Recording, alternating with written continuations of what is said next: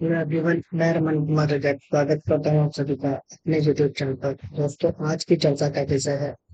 Postal manual volume छह के बारे में आज हम लोग करेंगे। और postal volume postal manual volume छह का जो पार्ट तीन है स्पेशली उसके बारे में आज हम लोग करेंगे। और पोस्टल मैनुअल वॉल्यूम छह का जो पार्ट तीन है पार्ट तीन है ये पोस्टमैन और पीए दोनों के सिलेबस में है। तो आज की जो क्लास है एमटीएस एग्ज़ाम वालों के लिए नहीं पोस्टमैन और पीए की जो तैयारी कर रहे हैं, उनके लिए आज की क्लास है। तो सबसे पहले जानेंगे हेड पोस्टमैन के बारे में। और हेड पोस्टमैन से संबंधित जो रूल्स है, वो पोस्टल मैनुअल वॉल्यूम छह का जो पार्ट तीन है, उसका जो क्लॉज नंबर 86 है रूल नंबर 86 है वहाँ पर दिया हुआ है हेड पोस्टमैन के नाम से। पर हेड पोस्टमैन में आप लोगों को क्या ध्यान रखना है कि जो बड़ी बड़ी जो सिटीज़ है बड़ी बड़ी जो ऑफ़िस है, उनमें एक या एक से ज़्यादा हेड पोस्टमैन होते हैं। और इनका क्या काम है? इनका सिंपली काम ये है कि आपकी कोई ट्रेजरी है या कोई आपकी सब ट्रेजरी है, या आप लोग बैंक से पैसे का लेन देन करते हैं। या आपका लेन then town sub office T S O से होता है। तो यहाँ से पैसे लेने का काम या इनको पैसे देने का जो काम है, वो भी जनरली हेड पोस्टमैन ही करते हैं। ये कैसे करते हैं, ये क्या होता है, इसके बारे में सबसे पहले आप लोग यूज़ समझे कि मान के चले कि आप किसी ऑफ़िस में है। आप इस ऑफ़िस में है। तो इस ऑफ़िस में ट्रेजरी भी होगी ट्रेजरी में आप लोग पैसा भी जमा करते हैं। पैसा आपका एक्सेस हो जाता है तो आपको अपने बैंक अकाउंट, अपने से मतलब पोस्ट ऑफ़िस का जो बैंक अकाउंट है, पोस्ट ऑफ़िस का जो बैंक अकाउंट है, उसमें जमा भी करवाना है। और अगर पैसे की आपको ज़रूरत है, यानी कि ट्रेजरी में एक्सेस कैश है तो उसको पोस्ट ऑफ़िस के बैंक अकाउंट में जमा करना है। और अगर पैसे की ज़रूरत है तो पोस्ट ऑफ़िस के बैंक अकाउंट से ट्रेजरी के लिए पैसा लाना भी है, ठीक है? और मान के चलते हैं कि ये तो बात है कब जब आप लोग बैंक से लेन देन कर रहे हैं। मान के चलते हैं कि आपको किसी एसओ के लिए पैसा दे देना है। एसओ से मतलब चाहे तो वो सब ऑफ़िस हो या कोई टाउन सब ऑफ़िस हो। अगर इस ऑफ़िस को किसी पैसे की ज़रूरत है तो ट्रेजरी से पैसा जाएगा। या यहाँ पर एक्सेस कैश है तो ये कैश यहाँ ट्रेजरी में जमा होगा। तो इस केस का जो लेन देन है, वो सामान्यतः हेड पोस्टमैन के द्वारा करवाया जाता है।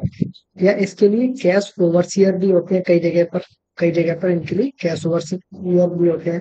लेकिन हेड पोस्टमैन को भी ये काम दिया जा सकता है।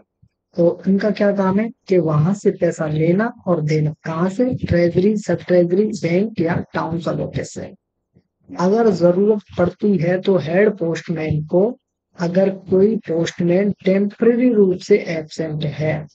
टेम्परेरी का मतलब है कि दो चार दिनों के लिए कोई एबसेंट हो गया, या कोई एक आध दिन के लिए कोई एबसेंट है, या चार छह दिनों के लिए कोई एबसेंट है तो पोस्टमैन की शॉर्टेज होने पर हेड पोस्टमैन को पोस्टमैन के काम पर भी लगवाया जा सकता है।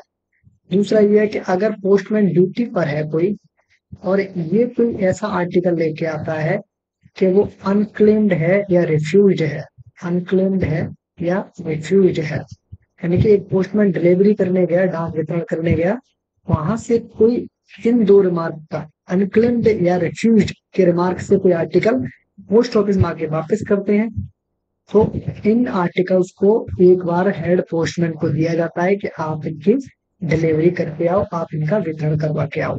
तो ये काम भी किसका है? ये काम भी हेड पोस्टमैन का है।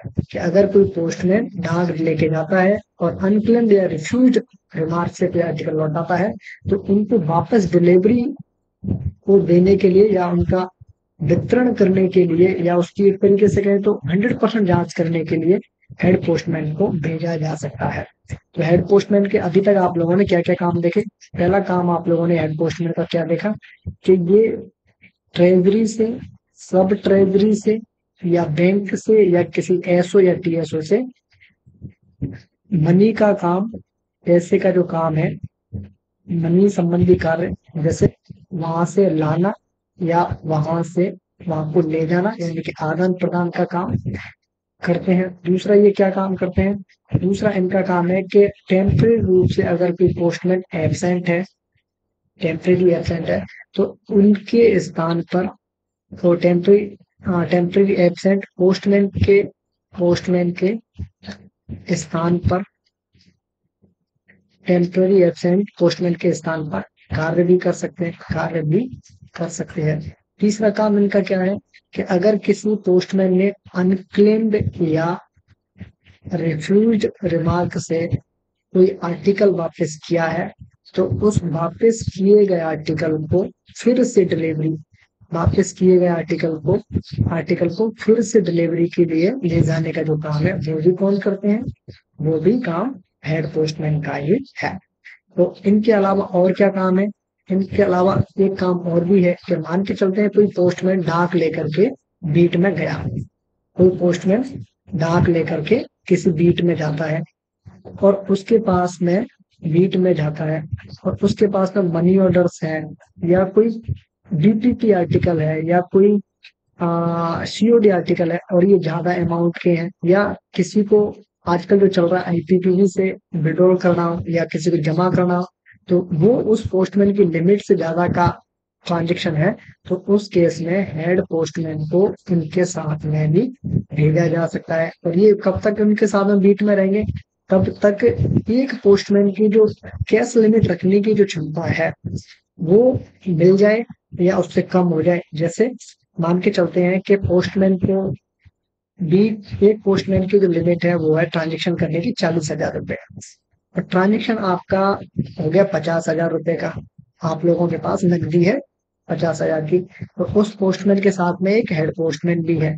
मान के चलते हैं किसी ने बीस हज़ार रुपए का विड्रॉल कर लिया तो अब कैश लिमिट कितनी होगी? उस पोस्टमैन के पास में कैश कितना रह गया? तीस हज़ार। तो जैसे ही कैश तीस हज़ार हुआ हेड पोस्टमैन वापस कहाँ पे आ जाएगा? वापस अपनी ऑफ़िस आ जाएगा।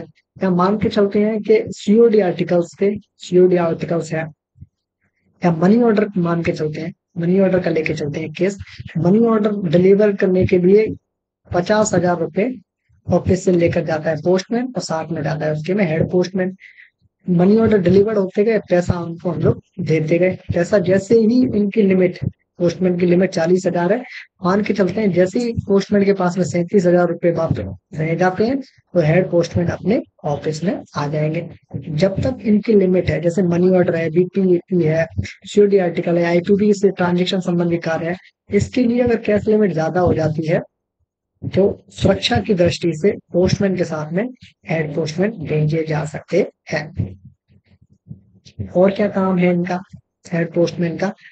छोटी मोटी जो माइनर जो इंक्वायरीज है माइनर जैसे कंप्लेंट्स है, किसी की हल्की फुल्की जो कंप्लेंट्स है छोटी मोटी जो कंप्लेंट्स है छोटी मोटी जो कंप्लेंट्स है, या किसी ईएमओ का सही पेमेंट हुआ है, इसको वेरीफाई करने का जो काम है, ये भी हेड पोस्टमैन का है, या ये समझे कि जो लेटर बॉक्स जो पोस्टमैन बोलते हैं, उनके काम की जाँच करनी है तो इस कार्य की जाँच के लिए भी इस काम की? जाँच के लिए भी हेड पोस्टमैन को लगाया जा सकता है। देखिए हेड पोस्टमैन को छोटी मोटी कंप्लेंट्स को सेटल करने के लिए पीएमओ का वितरण सही हो रहा है कि नहीं हो रहा है उसकी वेरिफिकेशन के लिए। लेटर बॉक्स अटेंडेंट अपना काम सही कर रहे हैं कि नहीं कर रहे हैं? पोस्टमैन जो बीट में जा रहे हैं, वो सही काम कर रहे हैं कि नहीं कर रहे हैं? इनकी जाँच का काम भी किनको दिया जा सकता है? हेड पोस्टमैन को दिया जा सकता है। और साथ के साथ में जिन ऑफ़िस में एनडीसी है नोडल डिलीवरी सेंटर्स हैं, वहाँ पर हेड पोस्टमैन को लगाया जा सकता है। जिस हेड ऑफ़िस में एनडीसी काम करती है नोडल डिलीवरी सेंटर है, वहाँ पर हेड पोस्टमैन को एनडीसी में लगाया जा सकता है, वहाँ पर उनकी सेवाएँ दी जा सकती हैं। तो इस तरीके से टोटल पाँच छह काम हेड पोस्टमैन के होते हैं, उनको किसी भी काम में लगाया जा सकता है। और हेड पोस्टमैन बड़ी बड़ी ऑफ़िस में होते हैं, एक से ज़्यादा भी मिल सकते हैं। तो इस तरीके से हम लोग शुरुआत करेंगे बॉलीवुड फ्लैग की। नेक्स्ट क्लास हम लोग अलग अलग टॉपिक्स को कवर करेंगे। और फ़िलहाल इस वीडियो को छोड़ता हूँ एंड ये है इस वीडियो का। धन्यवाद।